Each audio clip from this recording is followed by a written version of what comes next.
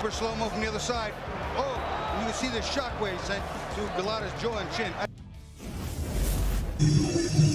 Halo rekan dua bibir arena Kita akan menyaksikan pertandingan yang sangat-sangat fenomenal, legendaris dan tak terlupakan Yaitu pertandingan antara si sombong Golota akan menghadapi Mike Tyson Pertandingan ini sendiri terjadi di Michigan, Amerika Serikat di mana kiblat tinju dunia. Pertandingan ini terjadi sendiri di 20 Oktober tahun 2000 di mana Tyson ketika itu sudah agak meredup namanya ketika terkena skandal dan hal-hal aneh lainnya dan dia sudah sering mengalami kekalahan. Namun di kembalinya Tyson ini diharapkan mampu menghabisi Golota.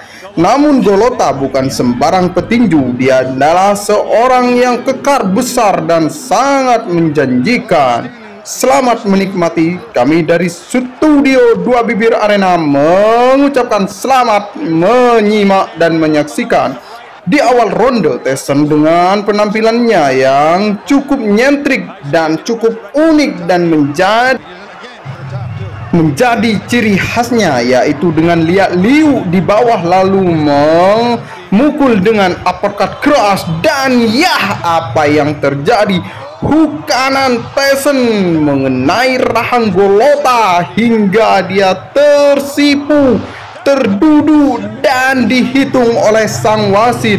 Golota yang saat itu memang memiliki badan yang sangat kekar tidak bisa apa-apa. Di sudut ring nampak matanya pelipis kanan dari Golota dirawat karena pukulan keras dari leher beton menghujam menggetarkan rahang Golota yang saat itu masih memiliki nama besar Jarak umur keduanya memang hanya terpaut 2 tahun ketika itu Tyson berumur 34 tahun dan Golota berumur 32 tahun. Masa kejayaan Golota seharusnya masih ada, namun Tyson menghabisi Golota dengan pukulan-pukulan mautnya.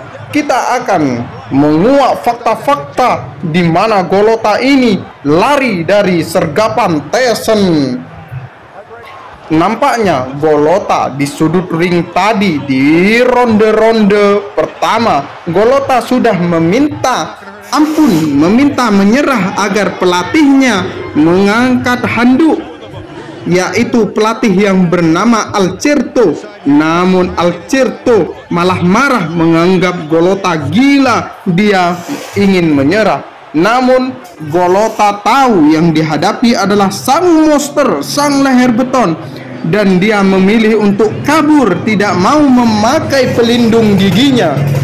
Pelatihnya yang malu terus-terusan memaksa Golota untuk bertanding.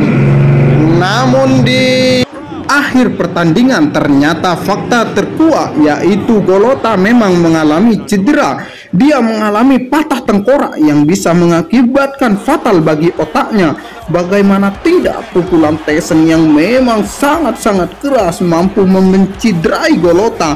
Banyak orang yang tidak tahu akan itu dan Golota dilempari sampah-sampah karena penonton banyak yang kecewa. Namun keputusan Golota itu benar karena bisa mengancam nyawanya.